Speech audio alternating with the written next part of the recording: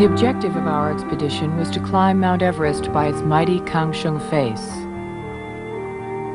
11,000 vertical feet of snow, ice, and rock.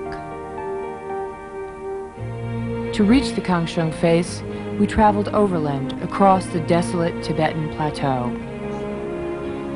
We were a small team of five Western climbers and seven Sherpas. And as we crested the 17,000-foot Pangla Pass, we got our first view of Everest, 20 miles away. It was a majestic and imposing sight.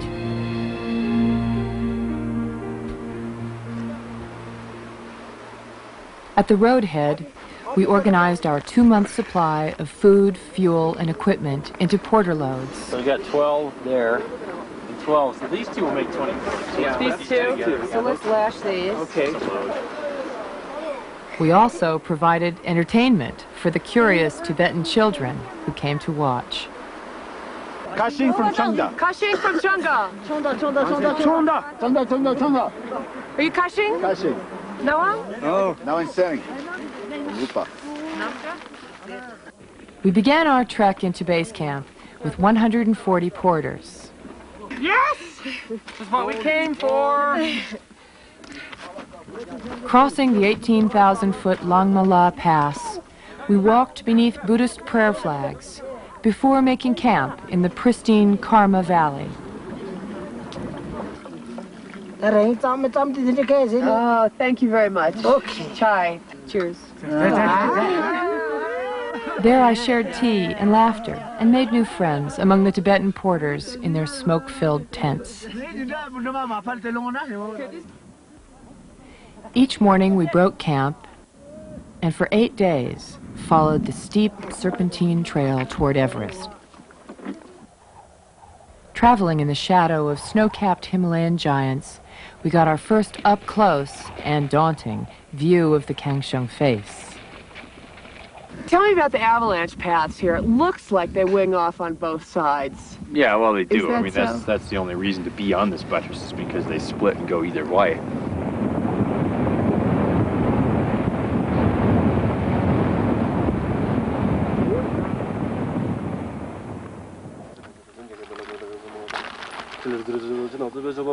At base camp, the Sherpas held a traditional Buddhist ritual before we began the climb. Appealing to the mountain gods to protect us from the dangers of the mountain, they made elaborate offerings of prayers and food and asked us to join in for good luck and safety.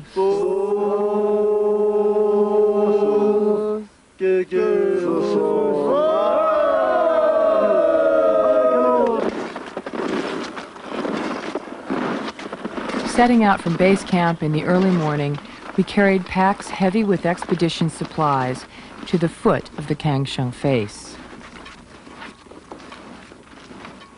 Become creatures of the We are going to get fried out here. Does everybody have sunblock? Yep. Yeah, thanks. I've got some here if anyone needs some. I'm going to take a shot of that, Barry. It's an SPF 25 kind of day, if there ever was one.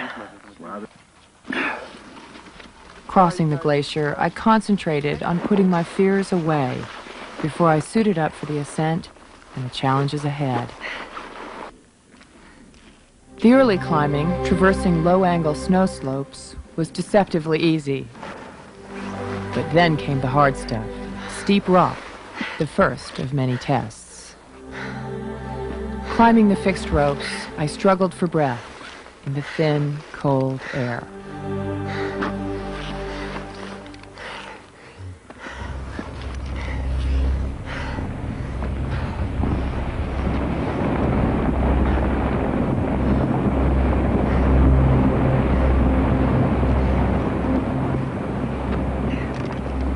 Thankfully, the effort of climbing at 20,000 feet distracted me from the avalanches that crashed next to the route.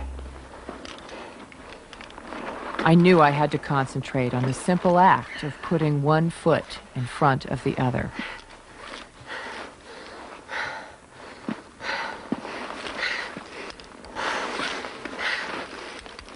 Getting closer to heaven with every step.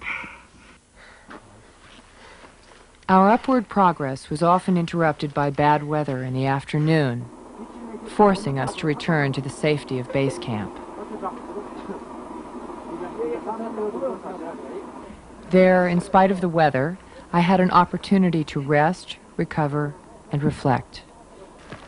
Sitting alone in my tent, home felt a long way from me, but I knew that, for now, the road back was up.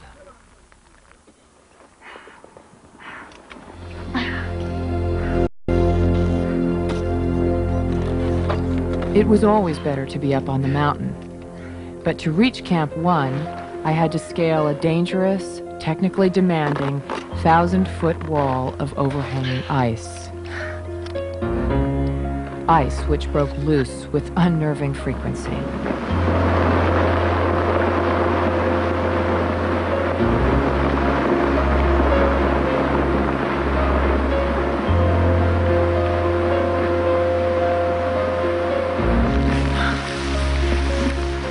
Threatened on all sides, I climbed higher, faster. I was driven by the urge to reach the relative safety of Camp 1. And at last I arrived, exhausted, but elated. Hey, Alex! Sandy, way to go. Hey, Welcome to Camp 1! All right. Good job. Thanks. All right. That's a hump, huh? We're almost on top of the world, Alex. Close enough. In the morning, I prepared for the climb above and made the scheduled radio call to base camp. But there was unexpected news. What a glorious day, huh? David and I have in mind we'll go up and uh, start working our way to Camp 2. What's going on down there? Well, you, you probably ought to rethink. We, uh, we got a pretty severe avalanche blast last night. It's gonna make us, uh, want to rethink whether we want base camp here or not. We've got pretty well leveled last night. Down below, base camp had been destroyed by the wind blast from a tremendous avalanche which had fallen thousands of feet down the Kangshung face. Precious food and fuel supplies were strewn across the glacier. Our tents had been shredded, and the team was demoralized. There's too much material hanging up there, too much snow that, uh, you know, something like this could happen again. And it's just not the place to be.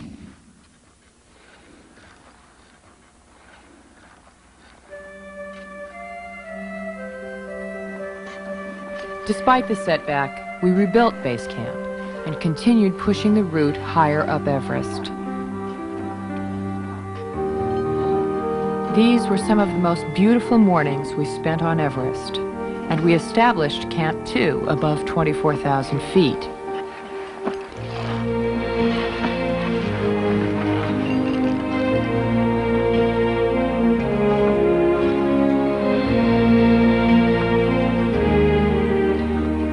But despite the clear mornings, afternoon snowfalls continued, and in the face of increasing avalanche danger, we were forced to accept that this wasn't our year on the Kangshung face. We had achieved much in the face of appalling conditions. I left Mount Everest grateful for the gifts the mountain had given me, and with a conviction that someday I'll return.